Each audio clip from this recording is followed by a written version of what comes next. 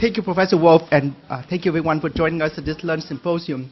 So wide-angle imaging has certainly become a major part of our daily practice if we care for any patient with any disease of the posterior segment. I'm very pleased to share with you our work on how, what the role of wide-angle system for the diagnosis, management, and treatment of patients with uveitis and ocular inflammatory disease. As a financial disclosure, our university have research, received research support from Optos for our work.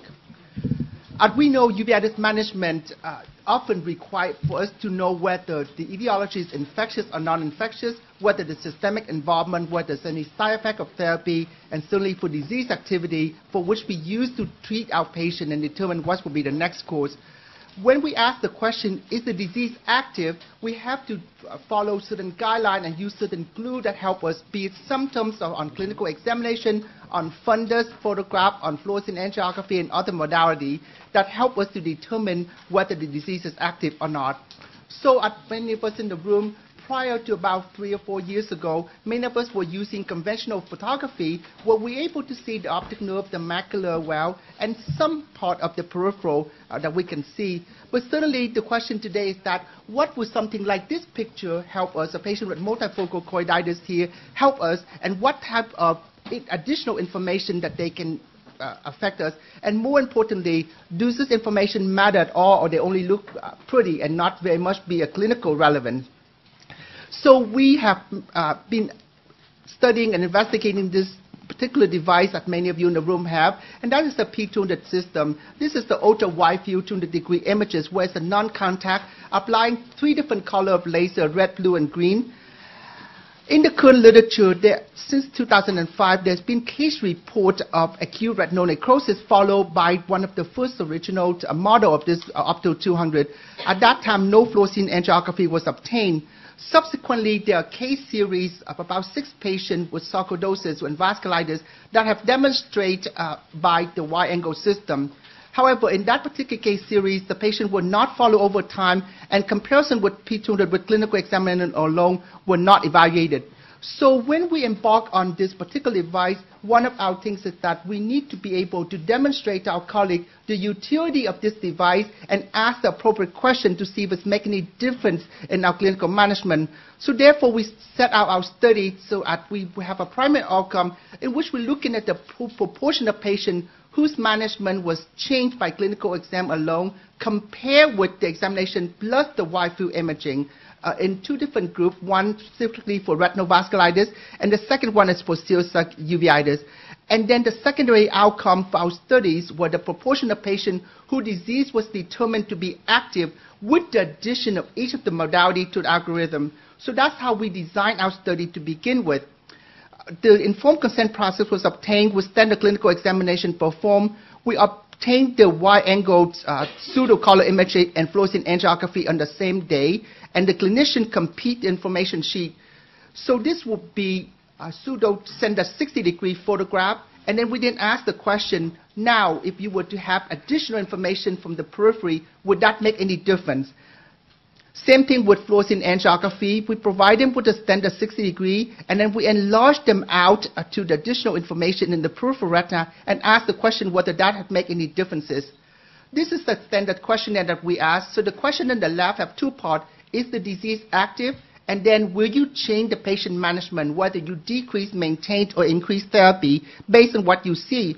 So you start out first with an exam prior to any imaging, and then you answer that question, and then you provide with additional information on the right-hand side, 2, 3, and 4. First, your limited field, 30 or 60 degree fluorescein angiography. Then you have the wide field angled uh, exam, and then you have the wide field angle fluorescein angiography. So the, the examiner uh, answered the question two to four sequentially while masking themselves the appropriate level of imaging. The study population was 63 patients with non-infectious posterior, intermediate, or panuveitis enrolled, and among them, 23 of them for this first study with retinovasculitis, a total of 71 visits, and 15 patients with two or more visits. Among the diagnoses for retinovasculitis are included here some of the common causes as sarcoids or intermediate uveitis were noted. So these are some the uh, results that we obtained from that. So first, one examination alone, about 38% of, of, the time the clinician thought that the disease was active, When you add then the traditional fluorescein angiography, that increased to 45%. When you have the wide field imaging, fluorescein angiography to it, that increased to 67%. So the change from 38% on examination alone or 45% with the traditional FA has now been increased to 67% of the time when the patient think that, that the, were active as noted by the clinician. So that was certainly statistically significant. So that's the first part. The second part, we say, okay, now that you think that there's uh, change in activity, do you have any change in management? So with examiner alone, that was 5.6%, and then you go to, with a traditional fluorescein angiography, and then when you add the wide-angle fluorescein angiography, it's changed dramatically from 5.6% to 51%. That is, with the additional information that we can obtain on wide-angle system, our decision uh, in the change of management has also changed significantly. So that was the first study that we, we did, and we published on that. So we recognized that the employment of the wide-angle system seemed to lead to statistically significant difference in diagnosing active vasculitis when compared to clinical examination alone. And the relevance, however, of the additional diagnostic information is still in question right now, whether we can lead to chain link therapy, and more importantly, if we chain link therapy, would it make any difference in the disease outcome? And that is something that we plan to do in the future. We do recognize the limitation of our study, and that is conventional fluorescein angiography would not perform on the same day for ethical reason, and the patient would not randomize, and investigate bias cannot be ruled out because from one clinic, and certainly from possible selection bias as well. But that was the first study we did, and we published that already earlier last year on the use of ultra-wide field retinal imaging in the management of non-infectious retinal vasculitis.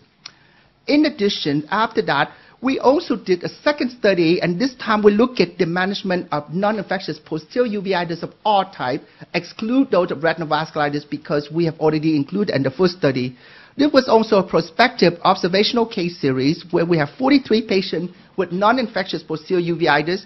Each patient underwent standard clinical examination followed by wide field scanning, uh, laser imaging, and angiography, similar to the other one similar to the design of the other one, where the investigators successfully determined disease activity and management decision based on clinical examination and follow on with additional traditional uh, fluorescein angiography and then to the wide-angle system.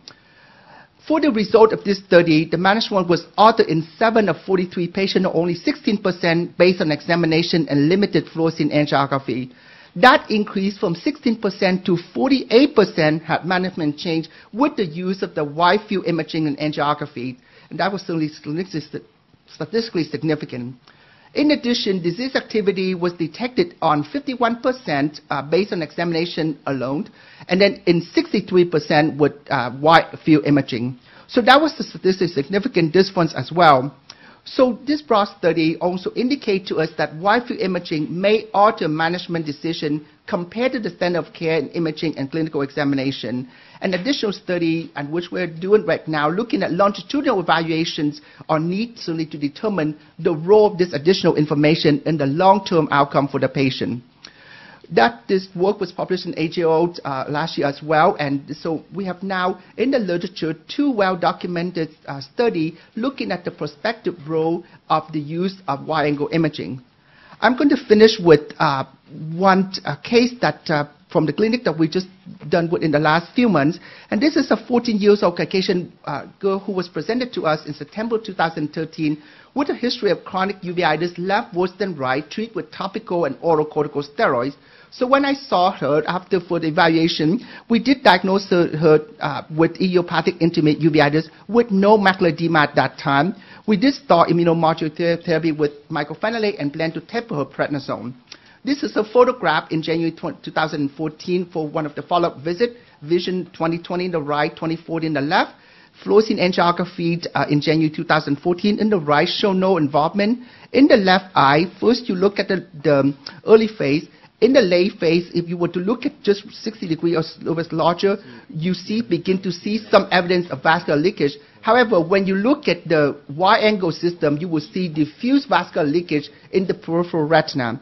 So at this time, the patient was on treatment with uh, mycophenolate, which is one of the anti-metabolites, along with prednisone.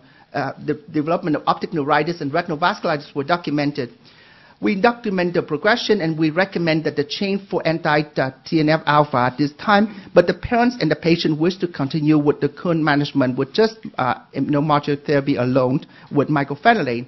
So then the patient returned in March of 2014, just last month, and in this case, the right eye remained inactive. But now the uh, fluorescein angiography in, uh, showed that there is persistent leakage and perhaps worsening. So if you look at January 14th management and uh, March 14th fluorescein angiography, we look carefully, we notice that the optic neuritis is still involved, and there's a lot of vascular leakage in periphery.